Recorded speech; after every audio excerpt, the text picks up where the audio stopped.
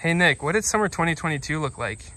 I think summer 2022 looked like